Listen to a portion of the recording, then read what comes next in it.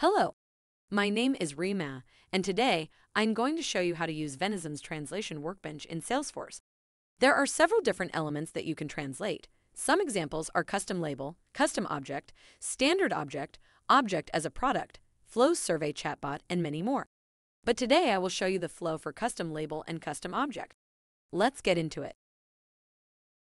We start with the flow for custom label. Here we begin by launching translation projects from the Verbis application, then click on New in the top right corner. Now you get a few different options depending on your license, but for this demo, we will select Translation Workbench. Here we have to fill in a title and target date for the project, and then proceed to select the option custom label. Here, it is mandatory to choose at least one language, namespace, and at least one category. In this demo, I will choose three languages and all the categories available. You can also add various other filters to narrow down to the custom labels you want to work with. For example, description and created date, however these are not mandatory. When you have created your filter, click on the next button.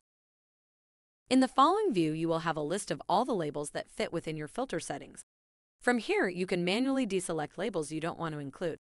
When you are satisfied with your selection, you can click on the Submit button. In the next view, we will be able to view the various language versions. By pressing the version, we can review the translation for each label. Here, we will have the original text on our right-hand side and a machine translation version to the left. In the rich text editor below, we make edits if needed. Otherwise, directly approve them by clicking on Submit for approval on the top of the page. When it has been approved, the application will update the translations for all labels that we have selected in the language we chose, in this example to French. In the next scenario, I will show you in the Venizum Translation Workbench is Custom Object Translation. We begin by giving the project a title and a target date, and choose Custom Object, then press Next. In this view, we chose target languages and fill out namespace. Just like previously, are these fields mandatory? We can use multiple combinations of filter settings depending on the product.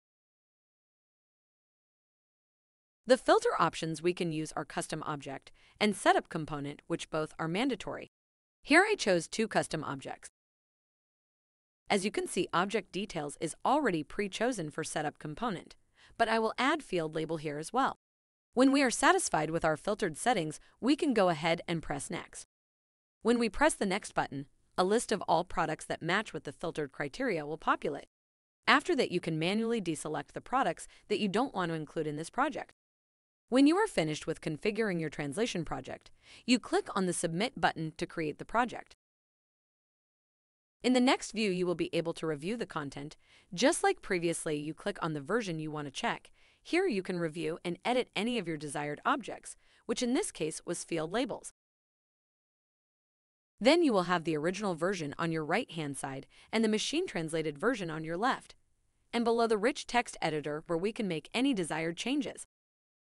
Once you have examined the labels chosen, you approve the translations by simply pressing Submit for approval. When it has been approved, the application will update all the labels we chose to translate.